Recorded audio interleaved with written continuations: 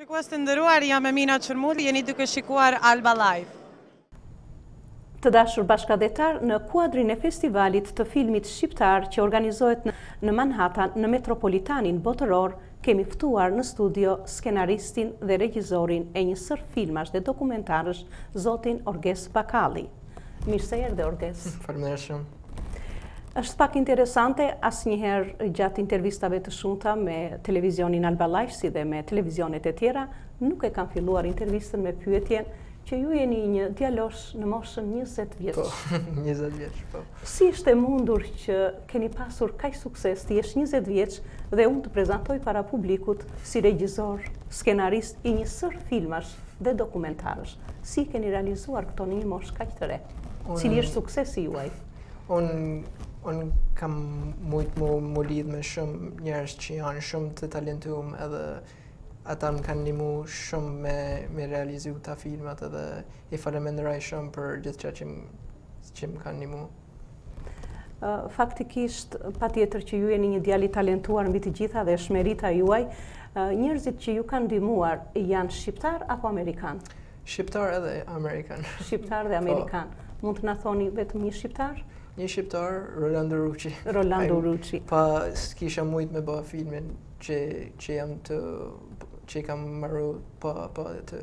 Ai më ka nihmu shumë prej Për herën e parë që e kam taku edhe e falemnderoj shumë.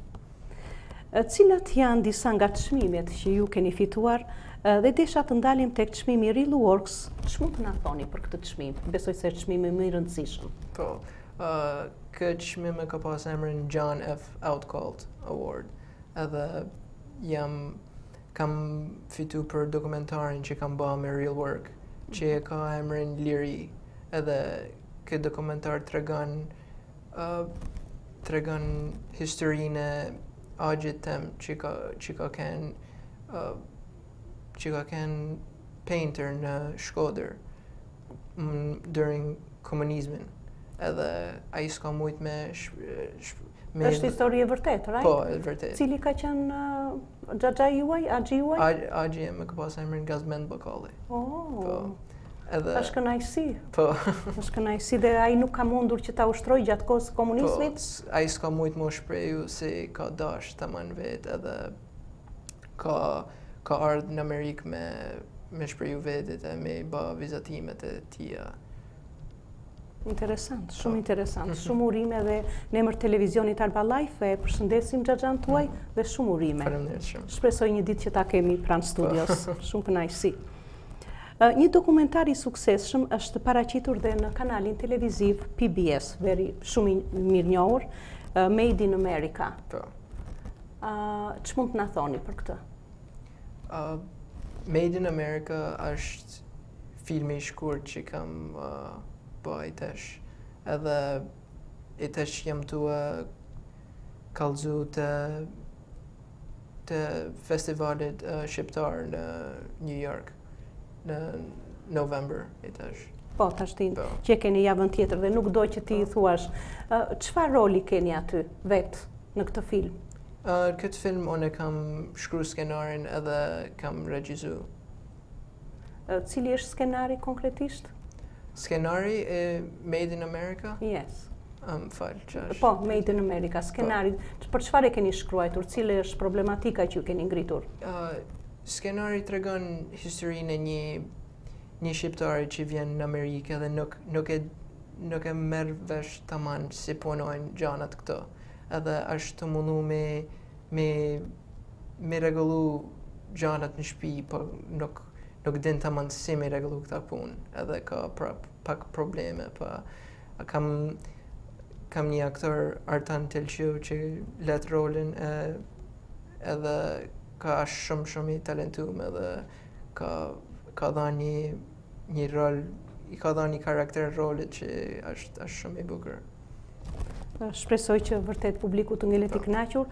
Filmi është në shqip apo në anglisht? Ë, të dy. Është edhe shqip edhe anglisht. Shumë bukur, më po. vjen shumë mirë dhe shumë urime. Faleminderit. Një nga sukseset tuaja dhe përshëndetjet ka qenë edhe takimi me kryetarin e Bashkisë së New Yorkut, bilionerin Bloomberg. Po. Cilat janë disa nga përshtypjet tuaja gjatë takimit me kryetarin e Bashkisë së New Yorkut, Michael Bloomberg? Michael Bloomberg jep shumë jep shumë support uh, programeve artit t'New Yorkut edhe e falemnderoj shumë për për me për për kët support se pa atë nuk kishim mujt me shumë fëmijë nuk kishin mujt me ba artin që dojn edhe gjithçka edhe edhe ai më ka animu edhe mu me me ba dokumentarët e parë edhe e falenderoj shumë, asht shumë shumë njeri i mirë. Është është vërtet ju mbështes plotësisht me ato që thoni se kur patëm 5 vjetorin e televizionit Alba Life, kryetari i bashkisë së New Yorkut me me miliona Njerëz që ndodhen në New York gjen mundësinë dhe të përshëndesë një televizion nga zyra e tij. Congratulations Alba Life TV on your fifth year anniversary and thank you for all you do for the Albanian American community in our city. Kënaqem që Majori, kryetari i Bashkisë së New Yorkut, gjen kohën edhe përshëndet edhe një djalosh prej Shqipërisë siç është Orges Bakalli dhe juve ngelini me përshtypjet më të mira. Ju jeni duke punuar në kompaninë prestigjioze që prodhon filma me aktorë të famshëm. Po. Si e keni arritur dhe ju lutem na flisni pak për këtë kompani? Po. Kjo kompani e ka emrin Washington Square Films, edhe mm -hmm. un kam fillu kët vit me punu me ta. Edhe mas un mas uh, disa kohë kam kam fillu një Kam kriju një bazë me ta dhe punoj shumë me ta edhe i tash kanë kriju një film All is Lost me Robert Redford që e kanë shfaq edhe ka me bo shumë sukses filmi edhe më pëlqen shumë që janë të mnimu kështu. Jeni vërtet, domethënë, jeni një djalë tepër i talentuar. Kur e keni filluar karrierën tuaj, kur jeni futur në botën e artit, në çfarë moshe? Sepse ndërkohë këtu përballë në studio kam një regjisor, kam një skenarist, kam dhe një aktor. Po. Në çfarë moshe keni qenë? Un tamam filmet sidomos kam fillu kur kam kanë gjimnaz me pas Në gjimnaz, këtu në shkollë të mesme, këtu në high school, or në Shqipëri? Po, këtu në Amerikë. Ku, po. në çfarë vendi keni bërë shkollën e mesme? Në Queens, ku jetoj. Po. Mhm, keni filluar atje. Po, po. shumë bukur, ndonjëherë shkollat e mesme janë me të vërtetë, domethënë, i nxjerrin mjaftë bukur talentet e reja mhm. dhe i përgatisin për në botën e artit. Po, të Edhe juve u zbuluat nga shkolla e mesme, e kishit dëshirë, u futët vetë atje? Po, e kam, po, qysh vitin e parë në shkollë të mesme, kam gjithmonë, kam pas pasion shumë për me hi me filma, me bë... Dhe pastaj mbas shkollës së mesme, ku jeni tani? Tesh jam te City College mhm. në New York, tu studiu kinematografinë. jashtëzakonisht bukur dhe shpresoj që një ditë unë së shpejti t'ju shikoj në Hollywood, sepse i keni të gjitha shanset, shkoni me një, me një përgatitje dhe me çmime në po. një moshë kaq të re dhe shpresoj për këtë. Po, ju shpresoni që të shkoni në Hollywood? Po, po, atje. Është ëndrra juaj? Po, gjithmonë ka qenë. Gjithmonë ka qenë. kur keni ardhur në Amerikë? Unë kam ardhur në Amerikë në 2001 me familjen. Çfarë moshe keni qenë? 8 vjeç. 8 vjeç. Po. 8 vjeç dhe domethënë klasën e parë besoj e keni kryer atje dhe të po, dytën. Po, klasën e dytë e kam kryer atje, masnej kam marrë thërë për klasën e Kjo është e mrekullushme, sidomos po. kur kryen klasën e parë dhe të dytë e flet shqipen më bukur dhe e shkruan. Po. S'besoj që ta kesh harruar po. për të shkruajtur, ma po. do mëndja. Nga cili vend vini i Shqipërisë? Prej Shkodrës. Prej Shkodrës. Po. Prej Shkodrës. nga qyteti i kulturës, po. i artit, i aktorëve mm. të famshëm që ka nxjerrë po. për Shqipërinë, kështu që keni një bazë shumë të, po. shumë të fuqishme. Cilat janë disa nga projektet tuaja për të ardhmen? Unë e prezentova dhe para publikut që jeni një djalosh 20 vjeçar, dhe cilat janë disa nga projektet pavarësisht, siç e thashë që jeni me një eksperiencë shumë të madhe, cilat janë disa nga projektet?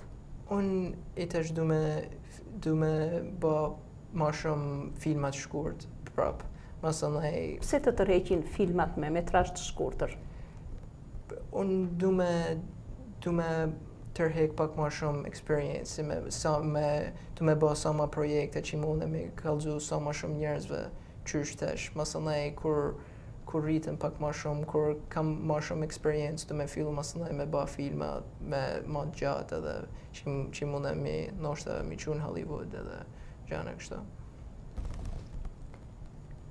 Keni shkuar në Shkodër gjatë kësaj kohe që ju jeni këtu? Po, kam shku në 2009, kam shku në Shkodër. Keni po. shkuar thjesht për të takuar me njerëzit, apo edhe me, me filmin edhe? çfarë ju keni? Jo, kena shku vetëm për me pa familjen, që ke, kam, dis, kam disa kushri që jetojnë atje prapë edhe kena, kena, kena vizitu, kena shku në Tiranë, në gjithë që edhe. Nuk, je, po. nuk je takuar me aktorë apo jo, ata nuk e njohin jo. akoma rezultatin e... Ara. Orges Bakallit. Po së shpejti do ta njohin Orges. Po. Kjo është vërtet një është krenari për televizionin mhm. Alba Life që ju intervistojmë këtu mhm. dhe në emër të gjithë teleshikuesve të televizionit Alba Life ju urojmë shumë suksese dhe t'u realizoftë ëndrra dhe ne do të na bësh shumë krenarë kur ne të mhm. shikojmë në Hollywood. Faleminderit shumë. Të dashur bashkatdhetarë, ndoqët intervistën me djaloshin njëzet vjeçar, regjizorin dhe skenaristin dhe po ashtu aktorin, zotin Orges Bakalli.